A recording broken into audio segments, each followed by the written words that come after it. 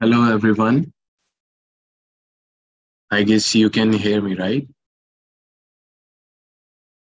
We will just wait for a few more minutes so that everyone can join, okay? We are expecting more participants.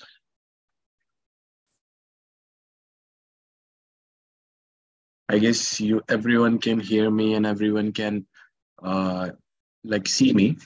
So just confirm me that uh, my voice is audible to you on the chat section. It will be really great if you acknowledge this.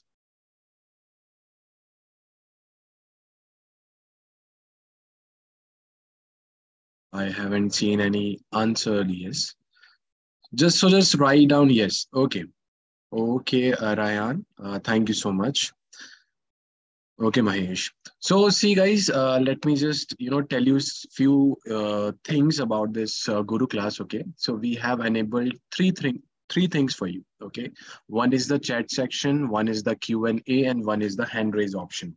Okay, so whenever uh, the mentor or me uh, gonna ask you to acknowledge like yes, no, any doubts, anything, so then just write down on the chat section if you want to say anything and all if you are facing any type of question okay want to ask anything so just write down that question in the q&a okay and if you like in the end like we will gonna you know uh, give a chance to everyone to ask uh, question so at that time you can just raise your hand so that we the mentor or me gonna you know uh, like listen to you and we're gonna resolve all your doubts whatever it is so meanwhile, when we are waiting for a few more participants, so just do, let's do something, okay?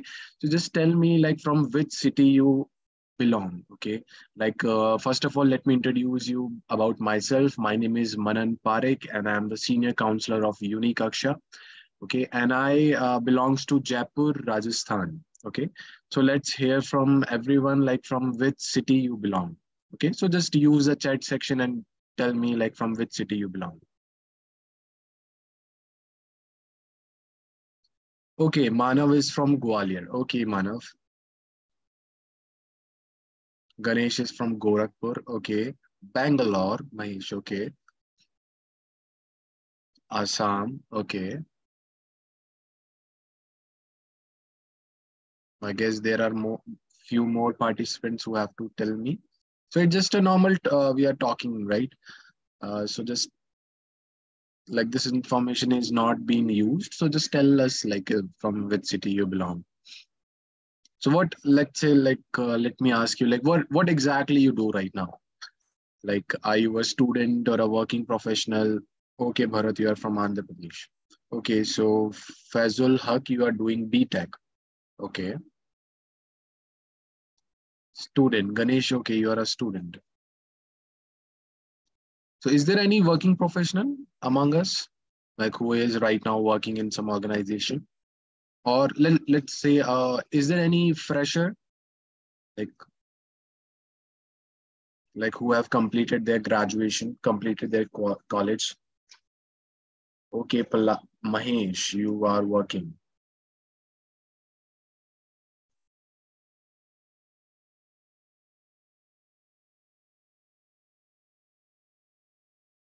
So is there any fresher also?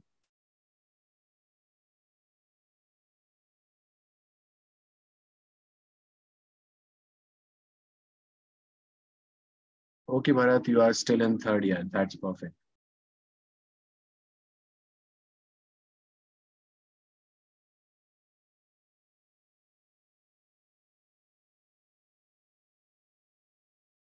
we will just wait for a few more minutes so that you know everyone can join then we can start our session okay manav you are in the final year of your college okay so manav exactly what you're doing like you are from a you are from computer science background or something else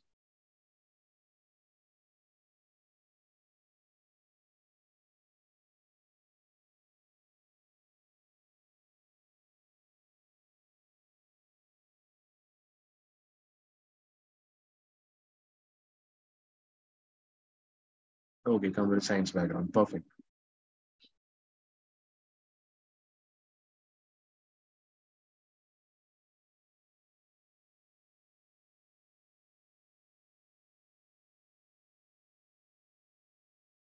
Okay, perfect. So, uh, I think we should start our session. Okay. So just give me a minute. Okay. Yeah. So uh, let me introduce first of all everyone about Unikaksha exactly. Okay. Like in the platform you are right now, it's Unikaksha. Okay. And it's an online education platform. So we are an online upskilling platform. Okay that helps students and working prof- professional upskill themselves in their tech career with the help of our top mentors okay and in industry relevant curriculum. So far we had a uh, you know positive impact in the careers of 10000 plus students. And today with the guru class we hope this ha- help you same manner. So i guess everyone knows uh, you know today's topic like in what exactly the guru class is on. Again let me tell you. So like did you know like that mongodb is the leading uh, nosql database? So powering someone of the most innovative web application and platform. So in fact mongodb popularity has skyrocketed in recent years making it must known skill for any uh, aspiring web developer. Okay? So in this webinar we will learn how to master mongodb operations with compass atlas and node.js so are you are you excited? So let me know in the comments. So whoever is excited, just write down yes on the comments. So we will also share the certificate of this Guru class with all the attendees. Okay, so everyone who is attended right now will going to receive a certificate. Okay, so we would like everyone to share it on LinkedIn by tagging Unikaksha by using hashtags like hashtag Unikaksha, hashtag full stack development, hashtag coding, hashtag learning, hashtag Monstack. Okay. So by sharing your certificate, you will demonstrate your commitment to continuous learning and professional growth, while also positioning yourself as a standout candidate in the eyes of potential employers and industrial peers. So I hope everyone will do the same. It's your own benefit, guys. Okay. So today's session is taken by Karan, he is a full stack developer trainer at Unikaksha. Currently, he is training 300 plus students in developing essential skills like HTML, CSS, JavaScript, React.js, and MySQL. Helping them to become confident web developer in future, he has three years plus experience in web development and the session he will cover one of the most important topic of web development which is mongodb so pay attention and keep taking notes, everyone. Okay. So let's all uh, welcome Karan. So Karan, yes, over to you.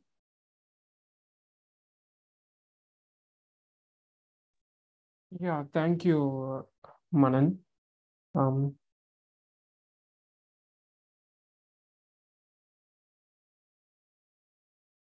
just a minute.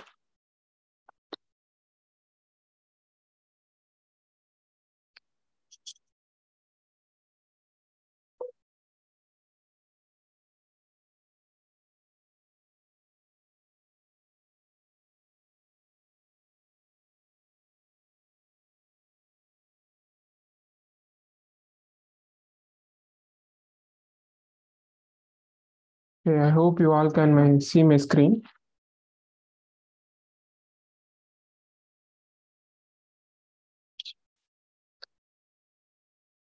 All right. Uh, so today we are going to see um, what is uh, MongoDB and um, what are the operations that we can perform with Compass, Atlas, and also in Node.js. So on that note, um, let us begin.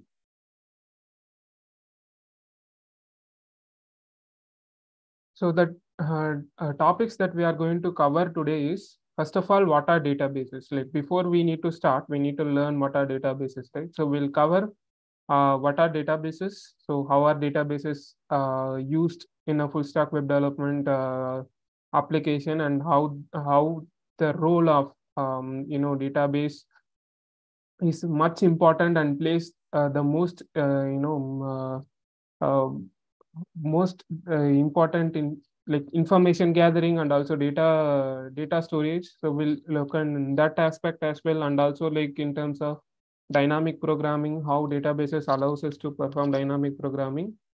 Uh, so that uh, will do. So the next is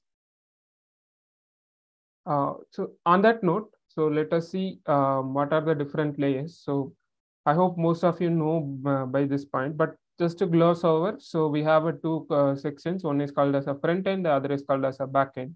So in the front end, we have presentation layer going to HTML, CSS, or something like React. Whereas a business layer, that would be our uh, business layer and persistence layer. They would be powered by our, uh, you know, um, JavaScript, basically computing. So that's the front end. And in the back end, like uh, the persistence layer also plays a role in the back end as well. So that uh, traditionally powered by PHP can also be done using Node.js, uh, Python or Java, whereas a database layer consists of our actual database. Now, on that note, so let us discuss what are databases. So a database is typically a structured collection or an it can be unstructured also, but uh, mostly a structured collection of information or data. Okay. So first of all, we need to understand a difference between a data uh, and an information. A data is something that is um, basically collection of um, a raw data, like uh, raw information, like raw information in the sense something very uh, abstract and coherent. Like your name is a data. Your name in itself doesn't have any meaning, right? With just your name, we cannot identify anything. But tying up your name with an address or a city now creates a relationship between your name and your city. Now, using that, we can uh, uh, create a structure of uh, create a structure such as a map maybe we can map your home that way or maybe we can map your you know uh, ma map your daily commute so in some way uh, an information is basically a collection of uh, processed processed data. So a processed data is what we call as an information. So what is a processed data and what is an unprocessed data then? So we have seen that data means collection of something some um, some abstract keys. So what is processed and what is unprocessed? So processed means a data with the relations, a, a data with relation or like say your name and your email ID are related to each other because the email ID belongs to you and you only you can access the email ID. The same with your phone number, the same with your address, right? Only your address can identify where you live so if uh, for uh, forever some reason, if you want to access information about your current location, your home or your work, we need an address. So that is an information. Then your uh, when you are talking about in a professional sense, when you are talking about your resume, same your name, mobile number, email ID, everything comes into place, and also your address comes into place. But additionally, will also have um, you know information related to your information related to your uh, you know college. Let's say your college where did you recently study? Which degree have you studied? So in it in, in it of itself like um, you know on itself like uh, having a name like such as anna university or you know or mgr university or something that the university name holds nothing that cannot relate you to that but if we relate that uh, you have studied bachelor of engineering or masters of engineering at Anna University. Now we are uh, deriving a, relationship between the data. So that is what databases are for. Databases are uh, used to process data and also store raw information. Okay. So for example, let us in, uh, assume that we are storing information about, as I said, as a professional information about a person. So what are the raw data that we might have? So we might have their name, their email ID, we might have their uh, address, their recent college, their CGPA, their grade, whether they have any history of arrears, whether they have any standing arrears, and what is their you know expertise, whether they have the expertise in web development or it is in uh, AIML or it is in, it might not even be in uh, uh, computer science field. It might be in some other field. So how many experience, how many years of experience we have? So these data on themselves, like uh, alone on themselves or isolated themselves, doesn't provide any meaning. But if collected, we can create an application to maintain this information and present a, uh, a, a present a page or a present a uh, slide or whatever format you want. We can present something using it. So for example, using the data of uh, using the same data that I have listed for about 100 people, now I can create a job uh, job searching platform. Okay, so in a job searching platform, if I collect more than like 50, 60 profiles, basically potential candidates, and if I present that to potential employers of those candidates, how I can derive a relation. So this is how applications are being built, and that is the role of a database. Okay, database is the most important uh, in terms of uh, functional uh, functional design of a web application. Specifically, a full stack web application needs a database. Without a database, it doesn't provide any meaningful function to the web page. Now, in that case, so we have uh, different types of database. We have hierarchical databases, network databases, relational databases, and NoSQL databases. For the sake of this, uh, you know, simplicity of this uh, session, we'll just uh, look into the uh, relational databases and also NoSQL databases.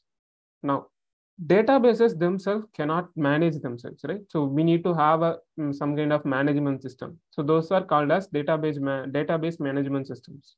Okay, we have something called as RDBMS. RDBMS means Relational Database Management System. Okay, PostgreSQL and MySQL are one of the great examples of relational databases. Whereas MongoDB serves as the main and one of the most very popular and re recently booming uh, NoSQL database. So what is a what is SQL then? Before we learn about NoSQL, like which is opposite to SQL, we need to know the original first. So let us learn the original first, which is structured query language or called as SQL. Now, SQL, uh, as the name suggests, it's a structured query language, meaning we have a structure to all the data that we store. We cannot store the data on their individual beacons or an individual memory. So the data has to have a shared space. Okay. Specifically in MySQL, we call them as databases. So each and every database or basically a collection of tables in a MySQL contains, um, as I said, multiple uh, tables that are either related to each other or not related to each other. If they are related, then the type of database that we are using is called as relational database. Okay, so how does uh, we derive a relation or how does we identify a database or a table in MySQL then? So we identify or we um, uniquely have a, something called as primary key. Primary key is basically the uh, primary identifier or the main identifier of a MySQL database table.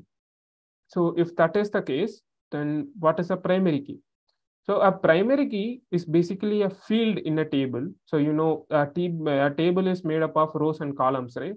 So the rows are called as records, whereas the columns are called as fields. So all the fields will contain your labels. So the fields are also called as labels, such as, you know, uh, profile ID, profile name, profile email, or name, email, address, phone number. So those are called as fields. And in any, in every database table or in every SQL table, will have one field dedicated and solely called as a primary key okay that primary key will uh, will give us the access or will allow us to access the record in a unique format.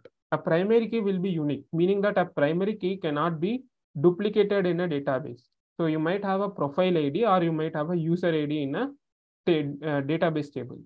So in that case so um, if you have um, you know uh, let's say if you have a if you have like information related to a professional information such as a job portal where you have uh, where you have multiple profiles so each and every profile will be given their unique id okay? That unique id right? So that unique id will serve as the identifier. So we for the uh, simplicity process or like let us assume the name of the profile is current right? So there might be multiple currents right? There are multiple currents right?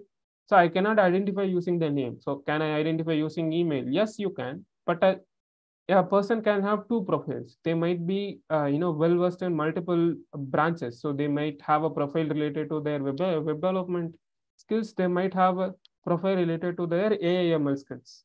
Now, those profiles cannot be mixed because both have different achievements, different certifications, different courses, different experience, different years of experience, their field of work, the companies they have worked on. So it's completely different. The name, the person might be the same, but for a job seeker or the candidate or the one who is offering the job, okay, for them, both are different profiles. They don't want them to be mixed. So in that case, profile ID serves as our lone, uh, you know, lone identifier. Now, so this is all you need to need to know about IDs. Now, by the way, this ID uh, ID structuring and the structuring of all the items related to or relating all the uh, re, re, like data of a record to an ID doesn't only stand for SQL languages, it also stands for no SQL languages as well. Like where you basically have an identifier identifying the entire record. Now, SQL has its own uh, CRUD operations. CRUD operations means create, read, manipulate, and delete. So one of those things are select, uh, which is used to read data from a database table. So we'll use select. If we want to select all the data, we'll use select star from a table name. So like we might it might be a profile table or something. Then you will have um, create a table name and then all the uh, fields that you are going to create. So this is how you create, read, and everything in a SQL. So basically, it's a table tabular language where you are constrained by your tables. So then, what are the disadvantages of SQL? Then, so we have seen the advantages, but what are the disadvantages? The disadvantages is that some some uh, in some applications or in many applications, many applications indeed, you will have empty uh, empty values or default values clogging up your database, therefore taking up valuable memory spaces and also computing power. So one user might be very well experienced, so they might have number of numerous experience. So you might they might have company one, company two, company three, company four, but not all uh, persons have four uh, uh, four previous companies. Basically, the they have work. Not all persons work in four different companies and search for a fifth fifth company, right? They might have worked only in two. So in that case, you are end up holding a temporary uh, data or like a, a basic data up in those uh, empty spaces. A, a field or a record like uh, else would have been empty now filled up with a default value. Now that's taking our memory space as well. If you think about in thousands and thousands of records, that makes sense, right? Like it might seem like 1 KB, 2 KB, but if you add up thousands and millions and millions of data, it might be adding up to almost one terabyte at some point. So you don't want to lose one terabyte of your, uh, you know, your database storage to something that is not even needed, right? So that is why tabular structure fails and that is why we move on from SQL, uh, basically a structured query language to a no structured query language. So a no SQL basically doesn't have, in a traditional sense, doesn't have a structure, meaning that it is not stored in tables and it is not stored in a single file. You don't have a single file holding all the uh, items. So as I talked about databases, right, in SQL. So in SQL, all the tables of a database are stored in a single file. In turn, all the databases are stored in a single memory location. They are not stored in multiple different locations. Sure, you can take uh, backups and you can schedule backups, but it's still not perfect, right? It's still there can the data can be corrected if you are storing all the information, all those valuable information about your application that you need for your applications to live in a single position or a single memory location. That is where NoSQL comes in. NoSQL works mainly on keys and it works on different files. Whereas each and every uh, uh, database has its own file. File means an actual, like a JSON file or something. Okay, and basically an object file. where you have a file uh, that holds all your uh, what we call as collections. Instead of referring them as tables, we'll have collections here. As the name suggests, collections means it's a collection of either objects or collection of um, you know collection of items by the way. So it's a collection of objects generally speaking in all the NoSQL languages. Specifically in MongoDB, we are talking about JavaScript object files. So in a NoSQL uh, database, you are not going to store all the information in a single location. Okay, so uh, all the data that you are uh, you know storing inside your uh, database management system are stored in multiple different locations and they are accessed in a uh, multiple different uh, manner. Like if you want to access uh, access a database, let's say you are accessing a database called as user. Now, if two users are um, like a, let's say profile, the database that you are trying to access is profile. If you are trying to access the database profile, if there are two users at different endpoints, basically different clients, if they are trying to access the same database, it's going to create a load, load balancing nightmare, right? So you don't want multiple people, multiple people logging onto the database, single database. So in a single file situation, in a single file solution such as SQL, it's going to create a problem because you cannot lend out your single file to that many people. So what you end up doing is that you you you end up creating duplicates of the um, of, of the same file and giving out the data to all the other people. Now that creates a uh, that creates a buffer a buffer time period. It might be low, it might be like three seconds or five seconds, but in a very large application, that absolutely makes a difference, right? You don't want a five second delay between a person entering the data into the database and it is getting reflected on a client side. You want it to be live, you want it to be immediate. So in that case, you can use NoSQL. The reason you can use NoSQL is that there are multiple different files and for each and every collection has its own object file. So if a say if a person is working on a uh, collection one and if a person is working on a collection two, the person working on collection two is not affecting in any manner the performance of the person who is uh, uh, accessing the collection one. So there is no performance degradation. There is also no memory degradation degradation as well because those are two different files and two different access points. Correct. So that is one of the major advantages of SQL. So it is um, inherently faster um, and also inherently more efficient. Now that brings us along to MongoDB. So we have seen some examples of how MongoDB works. But in on its very basic level, MongoDB is basically a database that resides out of IBM. Um, and the way MongoDB works is as same as any other NoSQL uh, database. So what is a special thing about MongoDB then? MongoDB works with JavaScript mm, a lot better. The reason being is that MongoDB to save its collections, okay, to basically maintain the collections, MongoDB uses JSON files or JavaScript object files. Okay, so all the collections that you are creating in a MongoDB are JavaScript objects. So what are JavaScript objects then? So JavaScript objects are basically array-like items uh, with keys and value pairs. Like each and every uh, object is going to have something called as attributes. Each and attribute attribute is basically a data. A data is going to have a key and it's going to have a value. So using this, what you can do is you can create multiple copies of a template.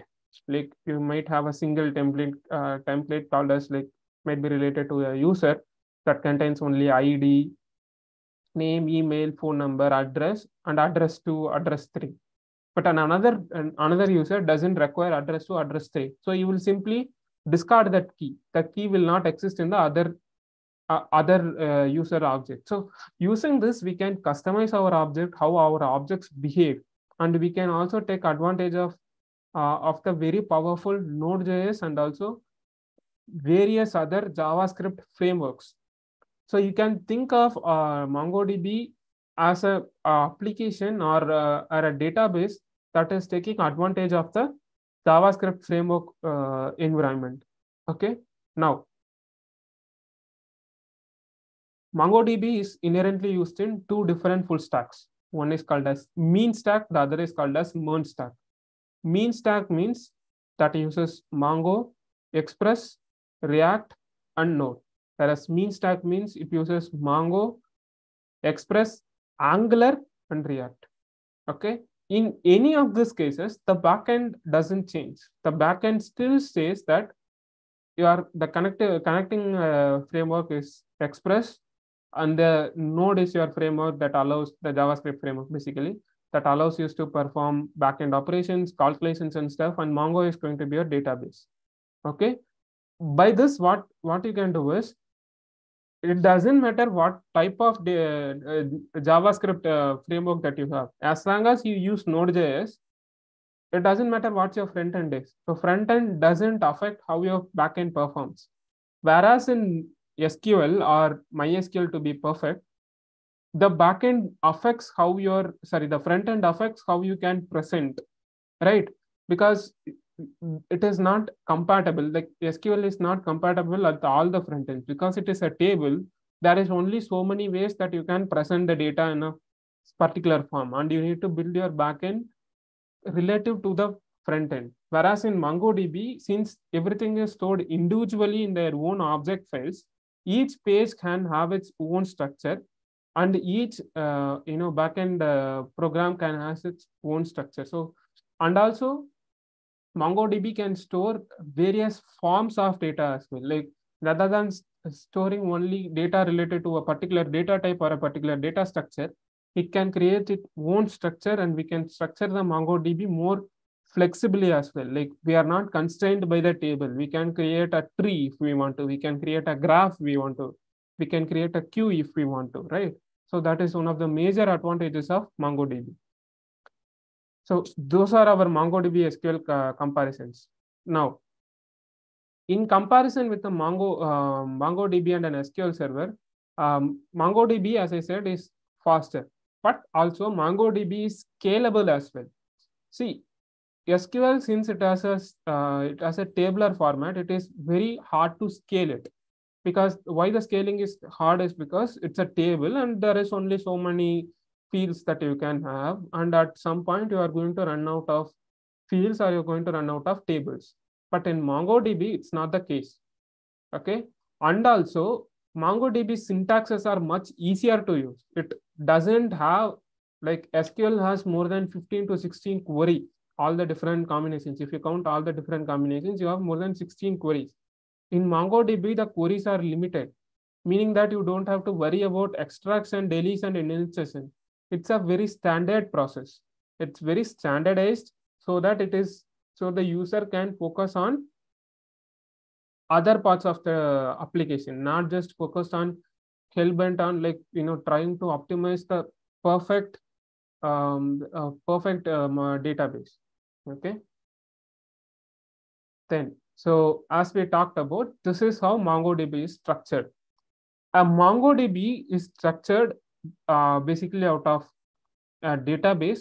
So in like likewise in SQL, it also has a database.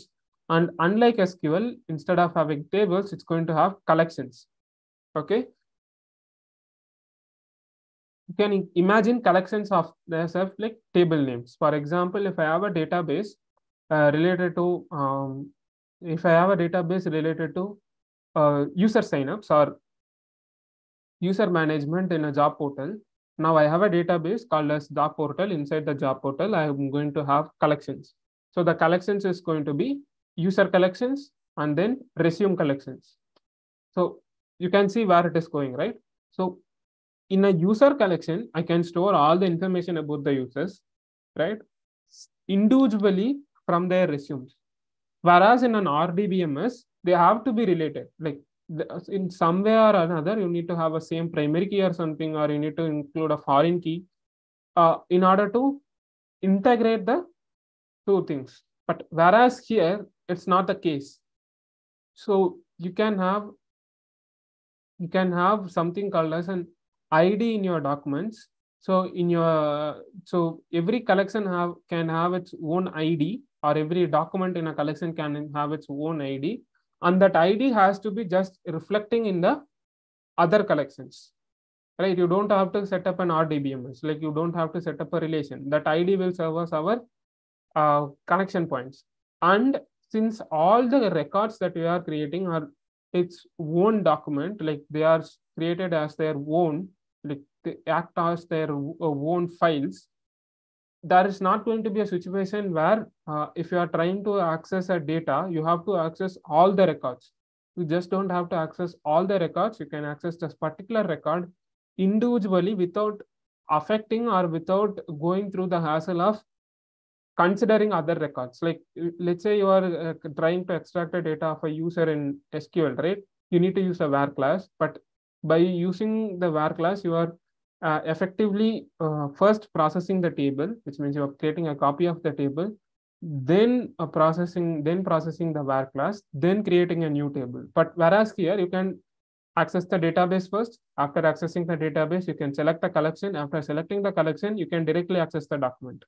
You don't have to go through all the all the documents, create a new copy or something. You just have creating a single copy. So that is the major advantage here. And so we have multiple clients for MongoDB. Okay. So MongoDB has something called as Mongoose. So Mongoose is basically Windows or desktop, um, uh, you know, terminal, like likewise how we have CMD in Windows, right? So Mongoose is basically a terminal that allows us to perform operations directly on MongoDB. Okay. So you can download Mongoose terminal and by downloading Mongoose terminal, what you can do is you can um, um, like do the CRUD operations. So we'll look at what are the CRUD operations and what are those. And Compass, Compass is basically you can uh, that is actual uh, database management system. Compass is a database management system, and also Atlas is a database management system. Atlas is a cloud solution, whereas Compass is a local solution. Okay. Now, uh, Compass is a local solution. Local solution means it is called the Compass application or the Compass management system, MongoDB Compass management system is going to be downloaded onto your uh, onto your computer and you need to download all the dependencies related to it. Once you depend uh, download all the dependencies uh, from mongodb.org, after downloading all those things, after installing all the uh, necessary applications related to Compass, you can create your own server. Now, after creating your own server, you are going to have uh, basically uh, what we call as a connection query. Now, this is as same as any connection query you have in your, uh, um, you know, um, in your uh, SQL database. So the two things that you are that you require is um, you need to have your uh, localhost uh, port name like uh, you might have local localhost colon 3030 localhost colon 8080 likewise for mongodb it's default to 27017 like mongodb 27017 or you can also use uh, 127 dot 0. Point, uh, 0 0.0.1 that is also a host your local host url so by you you need to have this local based local host url and then you need to have your database okay? So you need to know what is your database. And after uh, getting all those things now you can simply uh, select the database or connect to the database that you want to by using the database name and the connection uh, connection url after creating the uh, connection you can uh, start operating on your uh, you know crud operations. So the crud operations are as of follows. So the first thing is create query. So in mongodb um, we can create a collection directly onto a uh, directly on a um, you know compass or an atlas. So after creating a collection on a compass or an atlas what you need to use is you need to use an insert query to insert the insert the uh, files. Now here you can see that first we have db dot users. So that users will be your collection name so you are inserting values into the collection called as users. Okay, so users your collection. So as I said, users can also have related, you know, data such as name, age, status. Status means whether their job application is pending or their uh, the or those kind of things, or might it might be related to their you know whether they have logged in or not whether they have we have sent some request what about that status then we can store email information and all those things. Now these are this entire block right this entire block of code is called as a document and this is where our keys and values are present. So name is a key su is a value. So this is if you have worked with uh, javascript data javascript object files before you know how this is how we create javascript objects right? So we have name that is called as a key and then we have su that is called as a value. So then we have a age a key then we have 26 a value. Then we have status a key and also pending called as a value.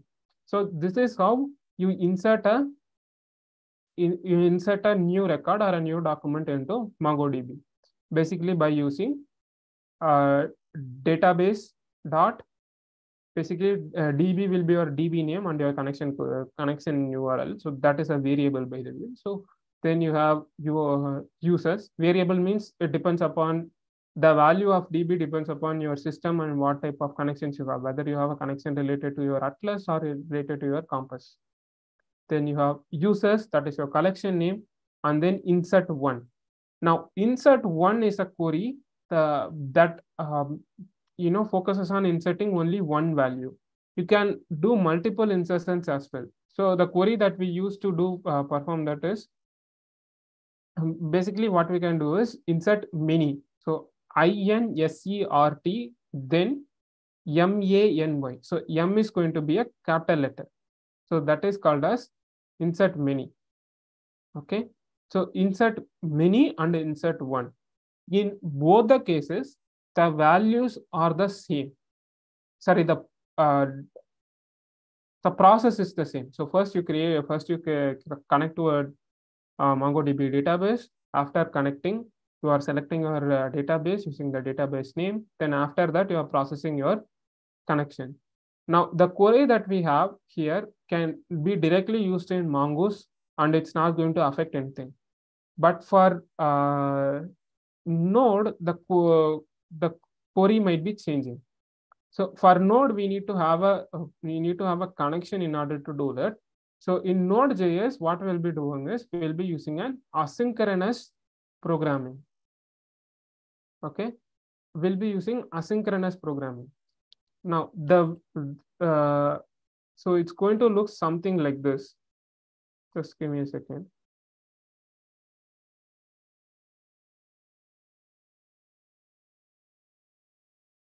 First you need to have your um, const.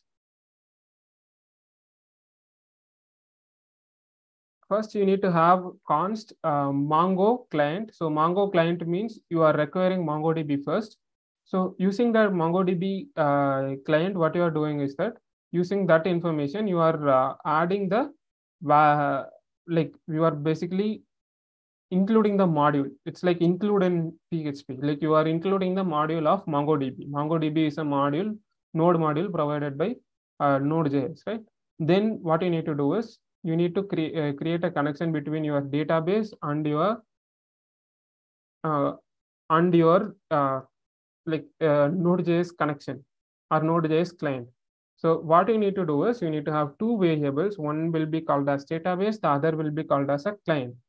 Now the client um, will contain the uh, MongoDB client URL. So using the uh, using MongoDB client, it's a class by the way. Using the class, we are creating a new object. Okay.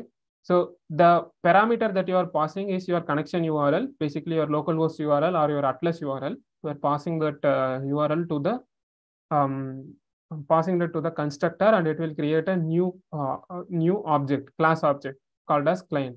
After creating the class object, now you can create your uh, asynchronous function. Maybe you can call it as uh, get data or something, or you can call it as you know any name you want. After creating that function, inside the function, you will have your you need to first create your collection first before start doing anything. So using the create query, you will be creating your collection. After creating, um, so to do that, what you need to do is you need to first process the connection. So you do this by using the method called as connect. In MongoDB client, we have a method called as connect. Okay. So to process that, we need to, uh, what we need to do is we need to use the object name dot connect. And that function will return some value. Okay. A result, basically whether the connection was success or failure or something. After the connection is success, um, will process the uh, you know success uh, success later success failure rate later. Then what we need to do is we need to create our uh, collection right? So that is used um, that is done using the mongodb query called as db dot create collection whereas c is in capital letter. Then you need to specify your co like collection name. Then you will have a error function like basically whether uh, you know it is creating any error or not so after processing this, you will uh, get your output. So this is a basic create collection query in a Node.js implementation. So this is how all the other um, queries are being performed. So let us see what are those other queries. So by the way, guys, um, the code is in the chat box if you want to verify. The next thing is that finding a find operation. So the find operation is um, is the same. Like we have DB that specifies our DB connective connection. Then like just like here, right? Then we have users, that is our collection name. Then we are finding. So find is our uh, query. So we are basically searching for something. So the, we have find here. Specifically what we are finding for, like we have what we are searching for, we are searching for age, which is equal to 18. And then we are searching for name one and then address one.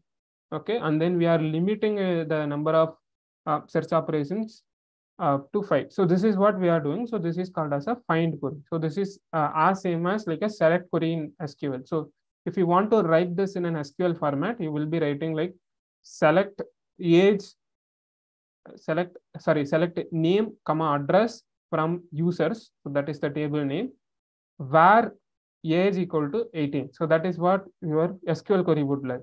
So this is the equivalent MongoDB query. The next thing that you have is delete. So specifically here we are uh, using delete many. Okay.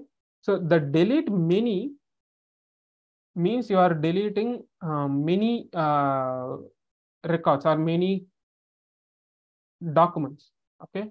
Whatever the uh, status that are being set to reject, basically if your job application is rejected, your status is rejected by the way.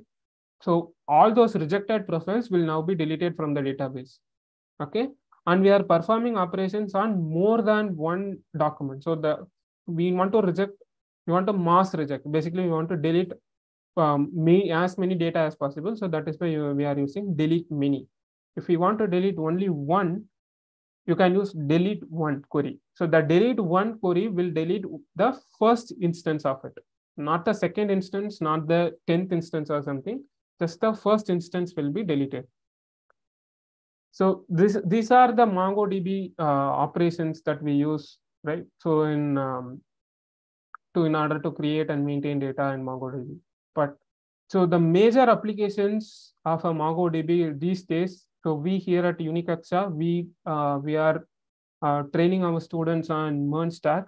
So MERN stack means we will use MongoDB for database solution, and then we are using React for the front end and Node for you know connecting to the MongoDB and extracting data, performing backend operations. For that, we are using Node.js, and then we are using Express for connecting the, um, you know, Node and uh, React. So basically, it's a we are using it to connect, right? Now, so this is what we are um, teaching in MERN stack, and can know from all the advantages that we have that I have talked about how the Java MongoDB works very well with JavaScript and all. By using MERN stack, what we can do is um, very technically, um, if you want to uh, speak very technically, you have only one language or only one script. You have multiple multiple frameworks or multiple libraries supporting these technologies. So the uh, you know for a developer the development time is very low. And for a user they don't have to you know install many dependencies or many uh, servers right? Because we have uh, node.js servers up and ready. So the client doesn't need any solution on their on their side. Everything will be computed when they when the output reaches them. And also we we can have single url within with by using react components with with a single url we can access everything. So we can create a single page application dynamically. So these are some of the major advantages of MERN stack and this is how mongodb shapes the MERN stack and this applies to mean stack as well. But the major disadvantage with mean stack is that uh, angular is a, um, pretty hard to crack because it combines javascript and uh, html so much together that that there will be no difference there but in react all the html code that you are writing will be in the return statement of a function or a method so that there is a clear differentiation between what is javascript what is html what will be my presentation stuff what will be my pers persistence layer stuff so that is one of the major reasons why MongoDB is very important and one of the most, uh, you know, um, currently up, upcoming uh, languages. So that is it, and that is all that I have to, you know, discuss about MongoDB today. Thank you, everyone. So hello, everyone. I guess you liked the session. Okay and uh, thank you so much for attending this session. So let me again introduce you a little bit more about UniKaksha, okay? So I guess uh, everyone know that like UniKaksha is an online educational platform which provide different different programs, okay? So as Karan also told ki, uh, that uh, like we provide a full stack development program, which is your MERN stack in which you are also going to learn MongoDB in advanced form, okay? So uh, we are providing this program in different different you know price models like pay after placement, synergy, autonomy, and many more. Okay, so any one of you uh, like have any sort of questions, want to ask anything, or I can say want to have a one-on-one free counseling session. Okay, so I'm just launching a uh, like you know a poll in which uh, it says like are you interested so if you are interested to have a one-on-one free counseling session, just fill yes. Okay. If you don't want it, just fill no. Okay. Want everyone to answer this question. Okay.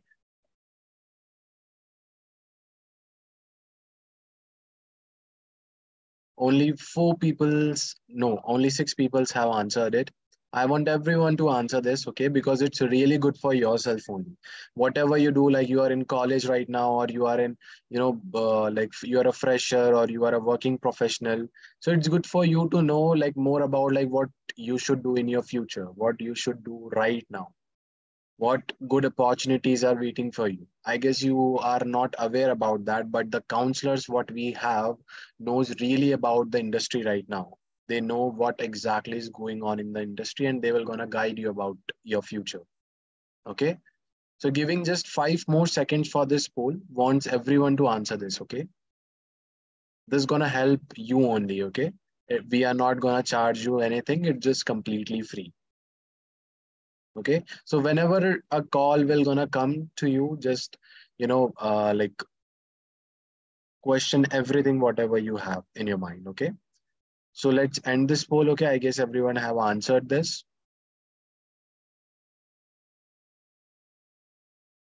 Perfect. So guys, uh, if you have still have any sort of questions with the mentor about this session, you can just write down on the Q&A session, okay, or in the chat section, and you can use any of this, or you can just, you know, raise your hand, okay. We will listen to you or we will, uh, you know, um, resolve all your all your questions whatever you have. If you want to ask me anything you can ask me also. So we have a team of you know counseling session. We have a team of mentors who will gonna guide you for your future okay? Like i guess uh, one of the student i forgot the name like who is a working professional also right? So for those people also we have different different you know programs for that like job ready program in which we specifically gonna train you for the jobs only okay?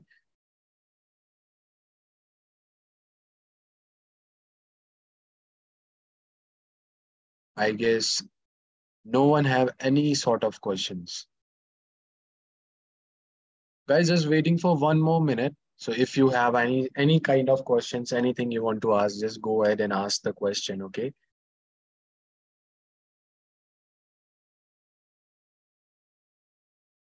There are two things, uh, everyone, let me tell you, okay? If you have no questions, it only implies two things, which means one is like you know everything, okay?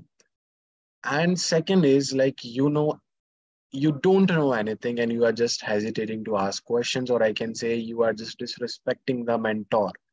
Okay. Ask asking questions is you know just going to improve your knowledge. You have seen a little kid in your life, like anyone, any little kid. He's asking many questions like what is this, what is that? And if the questions is being resolved, he he just you know you know you know gonna know something new his intelligence is going to improve. His iq is going to improve. So ask the questions whatever it is it, if it is silly also just ask it. So i guess no one have any questions. So guys should we end this session? Should we end this guru class? Just write yes if you uh, want to end this guru class. You can use the chat section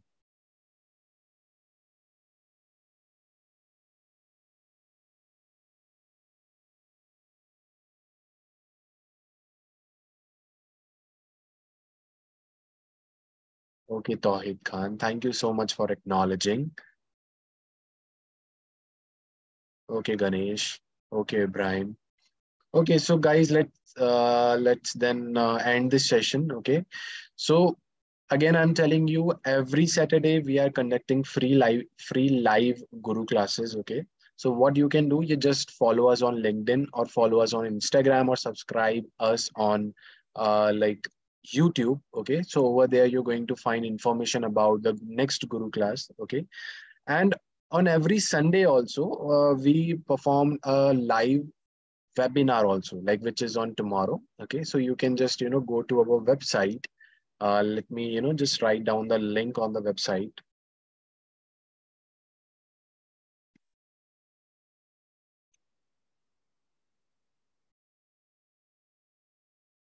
So here is the link of the website. You can just go over there and you can just go to the event section over there. Okay, so you're going to find the link for the tomorrow's webinar, okay, which is going to be taken by Mr. Ravindra Singh, who is the senior counselor. Okay, and you can just you know uh, he's also in the learning and development field okay so you can ask any questions over there if you have so you just you know register yourself over the for the tomorrow's webinar or still like we will gonna contact you like uh, to the details that you have given to us. So we will surely gonna you know uh, cure any kind of questions that you have. So guys let's end this session. Uh, bye bye and uh, let's meet in the next guru class okay? Thank you so much guys